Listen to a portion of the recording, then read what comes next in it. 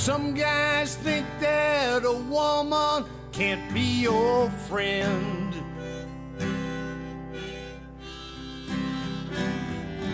And I was one of those guys, yeah, way back when.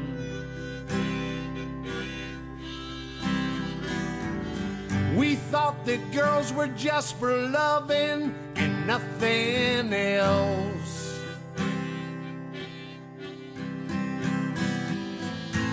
Then I fell for a neighborhood girl. I never showered her with diamonds or pearls. And all she wanted from me was to be my friend. She said, Be my friend. Be my friend.